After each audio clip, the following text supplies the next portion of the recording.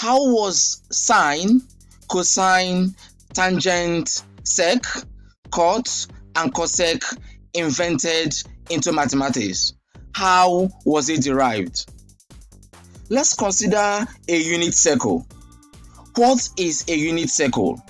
A unit circle is a circle whose radius is length 1. Considering the center of a unit circle, any part of this circle that you draw a line from the center to touch the outer edge of the circle must be 1. Each of these touching the arc is length 1. It doesn't matter where you draw it from. In analyzing a unit circle, you consider two types of measurements. You are either considering the length of this circle or you are considering the radian measurement. Consider a unit circle of length 1. Here is length 1, here is length 1, here is length 1, and here is length 1. That means here is 1, here is 1, here is 1, here is 1. So this is plus x axis. This is plus y axis. Here is minus x axis. Here is minus y axis. This point is x comma y.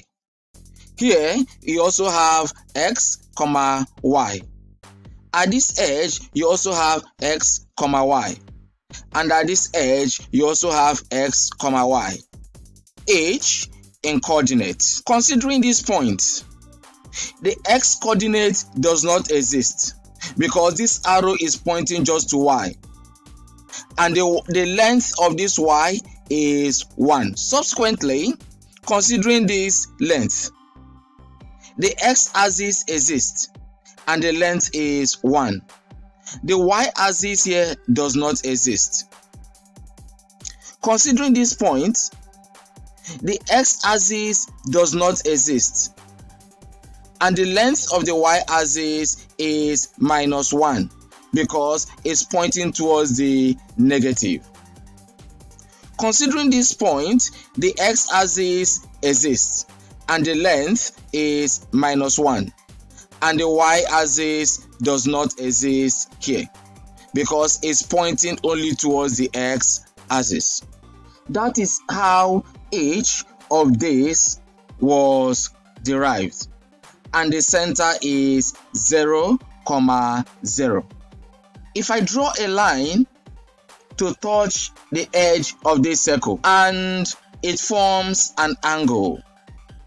This angle, theta, is the angle between the x and the y axis.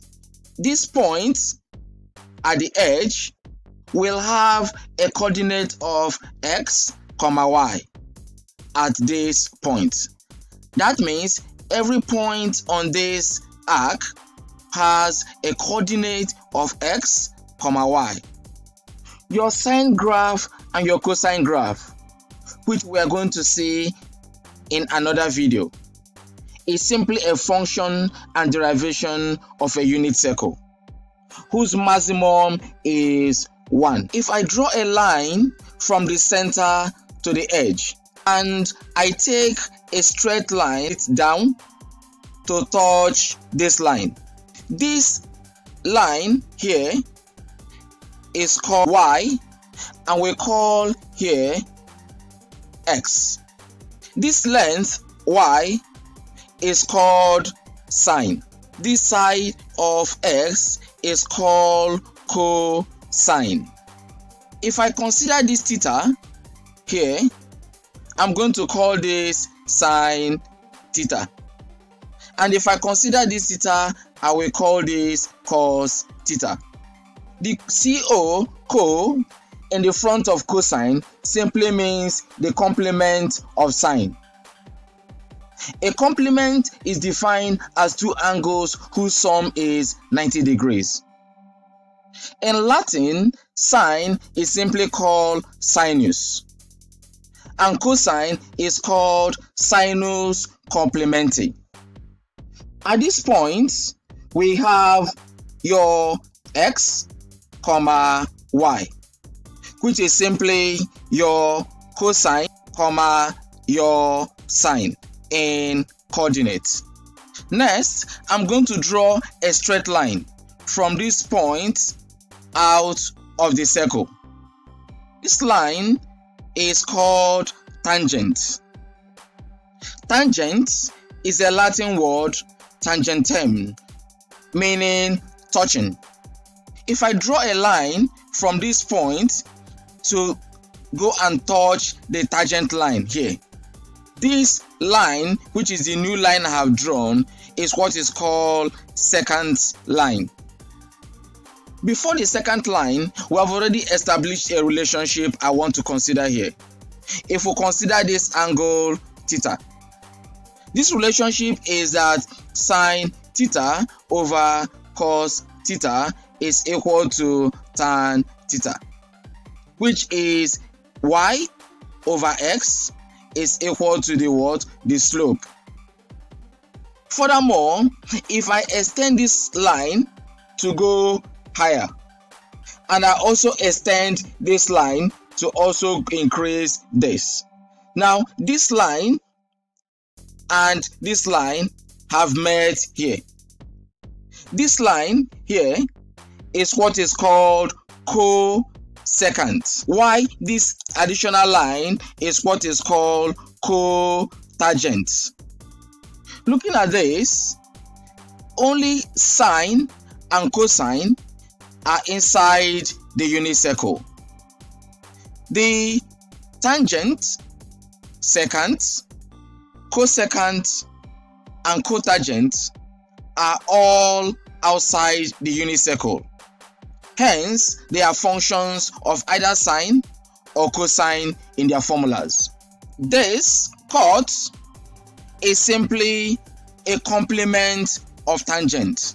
Cosecant is simply a complement of secant.